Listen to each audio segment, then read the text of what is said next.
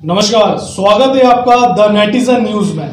देश और दुनिया की तमाम छोटी और बड़ी खबरें जानने के लिए चलिए नज़र डालते हैं आज की कुछ ताज़ा सुर्खियों की तरफ़। बड़ी खबर जनपद आगरा से है, सेना भर्ती में सेंध लगाने की कोशिश की गई है। फर्जी दस्तावेजों के आधार पर भर्ती देखने आए अभ्यर्थियों को पुलिस ने किया है गिरफ़्तार। कुल पंद्रह लोगों को सिकंदरा पुलिस ने किया है गिरफ़्तार। फर्जी दस्तावेजों के साथ लैपटॉप, स्कैनर व अन्य उपकरण बरामद किए हैं। सिकंदरा क्षेत्र स्थित आनंद इंजीनियर कॉलेज में चल रही है सेना भर्ती।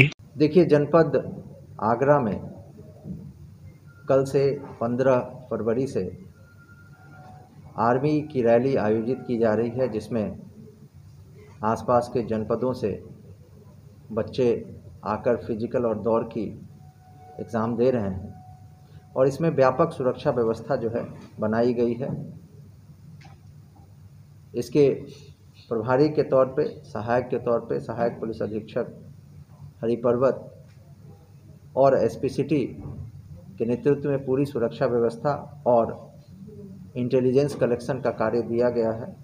आज कल की कार्रवाई में हमारी टीम को, थाना सिकंदरा की टीम को काफ़ी अच्छी सफलता प्राप्त हुई, जिसमें कुल पंद्रह लोगों को गिरफ़्तार किया गया है।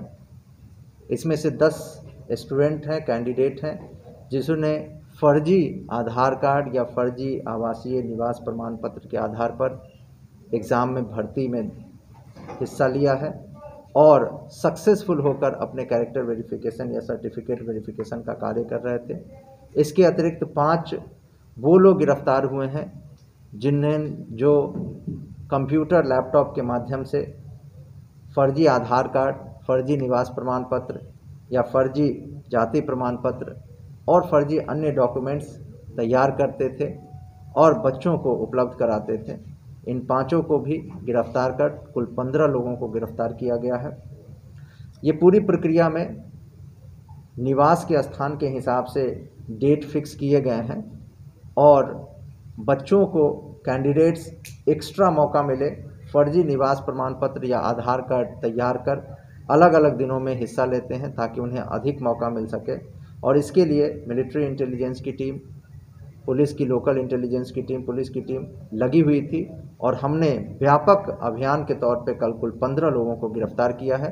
और ये हमारी अभियान लगातार चलती रहेगी जब तक ये कार्रवाई आर्मी भर्ती रैली चल रही है। और मैं इसलिए अपील भी करूँगा कि कोई भी व्यक्ति किसी के झांसे में आए बिना फर्जी डॉक्यूमेंट के आधार पर इसमें हिस्सा न ले, अन्यथा उनके विरुद्ध कठोर कार्रवाई करते हुए मुकदमा दर्ज किया जाएगा और भविष्य में वो किसी भी इस प्रकार के नौकरी पाने से वंचित रहेंगे। अतः जो है, सभी लोग ध्यान दें और हमारी टीम ने बड़ा अच्छा काम किया है। सहयोग हमें मिलिट्री इंटेलिजेंस का भी मिला है। मैं उन सभी लोगों को शुभकामनाएँ और बधाई देती बरामदगी सर क्या हुई इस गिरोह के पास से? इस पूरे गिरोह के पास से काफ़ी मात्रा में जो है कूट रचित डॉक्यूमेंट हमें मिले हैं।